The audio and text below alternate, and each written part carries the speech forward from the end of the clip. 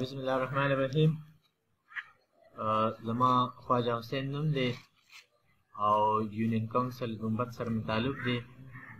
او دا ما سره زمونږ چې کوم دی مشر کرم دی او مشر هم دی ماسټر زینت الله صاحب هډ ماسټر جی پی ایس سعدالدین ګمبت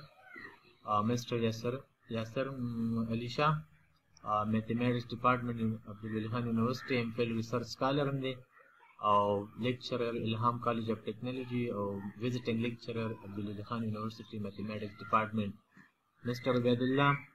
بی ایس سی الیکټرانکس او ایم ایس سی اکنامکس ساينس ټیچر سوپا سکول اینڈ کالج ګړکپورا عزتمندو څنګه تاسو ته معلومه ده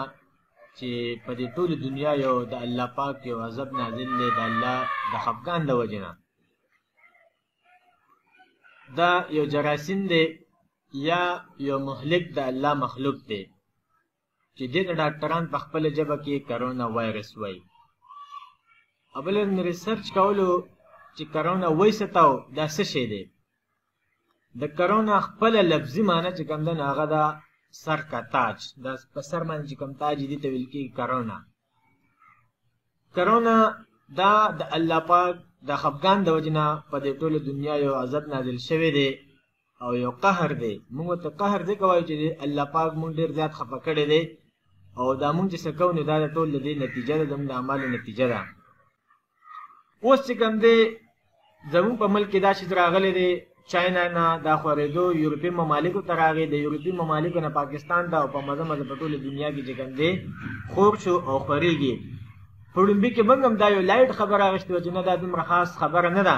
خو نه دا مرض چې کوم دی شته او مرض هم الله پاک پیدا کوي زموږ دا عقیده ده ایز مسلمان به حیثیت مسلمان زموږ دا چې کوم دی دا عقیده ده چې مرض پیدا کوي الله پاک ختمه یې الله پاک علما فرمایي چې کله وبا راشي نو سبا کوي علما فرمایي چې درې کار به کوي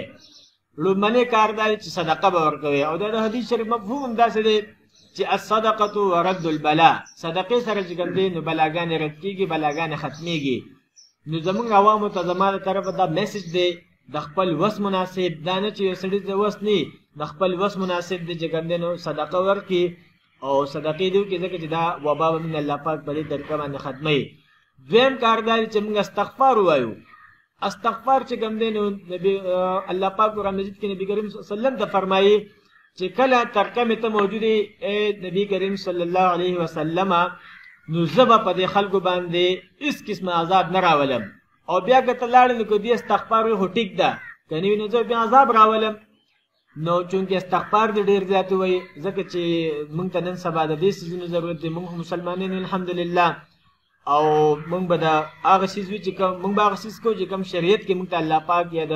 الله پاک خوږ نبي هغې صحابه یا د هغې تبع تابعینو مونږ ته چې کوم دی علما فرمایلی مونږ به هغه خپلو دریم کار چې کوم دی نو مونږ دی رجوع الی الله وکړو مونږ د الله پاک طرف نه رجوع کو او د الله پاک نه دا سوال کو او الله پاک نه دی غوښتنه وکړي چې الله پاک دا مرسته راوست دی ختمه به انت راوست انت دی پیدا کړم تا دی ختمه به انت دستا خپل قدرت په دې باندې دا هیڅ څوک نه پیدا کول شي او نه څوک ختمول شي بغیر ستانه مونږ به الله پاک طرف نه رجوع کو او د الله پاک نه سوال کو چې یاره دا مرض د موږ نه ختم کی اوس وبا چې کوم د وبا څنګه راځي د دې ته زه سوجه وایم چې وبا د دې وجه نه راځي چې نبی علما فرمایي چې را په دې بنی اسرائیل باندې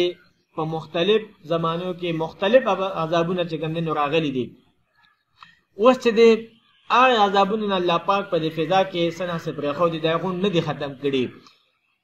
اوس دغه بن اسرائیل چې دی هغه د پیغمبرانو بیزتی کړي ده د هغه د ملمنو بیزتی کړي ده دغه شان چې کوم دی بلا پیغمبران شهیدان کړي دي او د پیغمبران مقابله یې کړي نه الله پاک دای په نتیجه کې په دې باندې مختلف قسم عذابونه چې دین راوستي دي اوس چې دی د هغې نه الله پاک په فضا کې لږ غونډه پرېښودې دی او په مختلف قسم په مختلف ټایم کې مختلف قسم څیزونو کې چې کوم دی په موږ باندې راولي نن سبا چې کوم دی کله د کرونا وایرس کله د چیچک په دغه کې کله طاعون په شکل کې چې کوم دی په موږ باندې راولي او دا د هغه بنی اسرائیل هغه عذابونه لږ شان عذاب په فضا کې پاتې شوی دی اوس موږ له پکار څه دی بینګ مسلم موږ دا په کار دي چې موږ احتیاط وکړو کوس یو سړی وي چې نه د هر څه د الله پاک په لاس کې دی او مرګ او ژوند بالکل دا موږ منو زموږ مسلمانان دا موږ لندا کیده دا چې هر څه د الله پاک په لاس کې دی او هر څه باندې د الله پاک قدرت هم دی چې الله پاک یو څه نه غواړي نو د اونې دا پاڼم چې ګندې نشي رپې دی موږ به د مسلمانانو دا عقیده ده چې موږ خپل احتیاط کوو او د الله پاک نه بغواړو د الله پاک نه سوالونه کوو اوس لکه انسان دی هغه په دې کمرې د پاسه وده شو چاردیوالي نه ده کړې د ښکته رابرېوت د خودکشي وکړه ځکه که د چاردیوالي کړې وي او د د کمرې نه ښکته راغورځېدلې وي بیا به دې شهید و خو نه که چېرته کې د چاردیوالي نه کړي احتیاط یې نه کړي او دې راوغورځېدو او دې وفات شو نو دې به چې کوم دې د خودکشي وکړله ځکه چې ده ته دا ذهن ولا الله پاک ورکړی چېرته ولدې د پاکستان لې دغه شان موږ له نور مختلف قسم بلا او حدیث مبارکه دي نبی کریم صلی الله علیه وسلم په جنگ احد کې دوه زغرې اچولې وي ولې اچولې وي احتیاط یې کړی دغه شان د فتح مکې په ټایم باندې چې کوم دی هغوی د هیلمټ اچولې د اوسپنې ټوپۍ اچولې احتیاط یې کړی و نو هغوی زمونږ چونکې په دنیا کې اوسېږو موږ به د اسبابو نه کار اخلو نو زما د عوامو ته دا یو اویرنس یو میسج ورکوم چې یاره احتیاط وکړئ او چې څومره مې احتیاطي تدابیر موږ ته علماو فرمایلي دي هغه وکړئ جومات ته دې لاړ شي الله پاک دې وجاړي او الله پاک نه دې وغواړي چې موږ الله پاک د عذاب ختم کړي کنی نو دا عذاب په موږ باندې راغلی دی ارزه نه چې راغلی دی خو چونکې مسلمانان موږ خلک خاندو ډېره د لطیفې خبره مې زه اکثر خلکو ته ووایم چې یاره یې په چاینا کې دا کرونا وایرس ځکه راغلی دی چې یاره هلته کې هغوی حرام څیزونه خوړل زه سرحان د میم ټیک شو دا ماسک په دس روپۍ یا په بیس روپۍ باندې په اسی روپۍ هر څه دا حلال دی که دا حرام دی دا ګټه موږ چې کوو دا حلاله ده که حرامه ده دا هم حرامه ده یا چې کوم دی نو د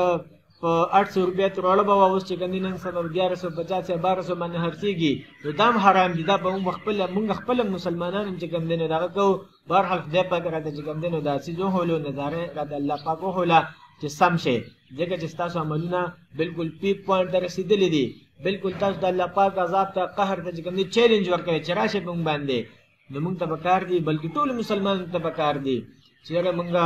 دا شیز د الله پاک نه غواړو او الله پاک موږ نه چې کوم دی دا شیز ختم کړي موږ خدای پاک نه دعاګانې کوو بقایه احتیاطي تدابیر دي نو دستانې یعنې ګلبز اچول چې کوم دی دا اهم دی او داسې چې کوم دی دا ماسک اچول دی لاس وینځل دی او بل دویمه خبره ده چې یو ریسرچ په دې باندې مشوي چې کم خلک پنځه ټایم او دس کوي چونکه او دس هم صفائی ده د لاس وینځل دی مخ وینځل دی پوزه کې وبا چول خلک دی او داس چې کندنو څنګه له خپې وینځل دام یو صفائی ده نو کم خلک او دس کوي پکار دي چې موږ اني ټایم په دس کې ګرځو ځکه چې دا بیماری الله پاک ختمه کې دفع کې نو کم خلک جو دس کوي مسواک کوي ناغه سره هم داسې ختميږي او دا چې کوم احتیاطي تدابیر د ډاکټران چې ګندي هغه چې کوم سجنه وای نو موږ له پکار دي چې موږ اپناو کو او الله پاک نو مسوال کو دعا کو زما د یو خبره وي به حیثیت یو یو ادنا وړوکی طالب علم ځکه چې مدرسې یو وړوکی ادنا طالب علم یم نو دومره دغه نشو برحال چې سره الله پاک کوم نالج راکړو هغه متاسو سره شیر کو په دې باندې موږ ټول ته پکار دي چې عمل پیو والسلام